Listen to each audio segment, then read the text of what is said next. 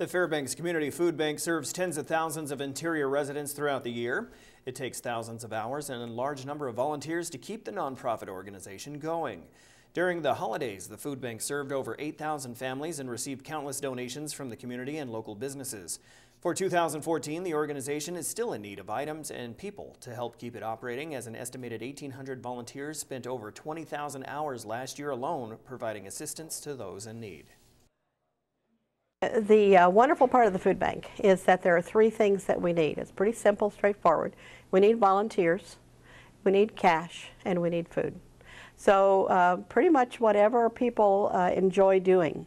And sometimes families come and they do all three. They give some cash, they bring their kids and do some volunteering, and they also love to do cans, uh, canned food drives.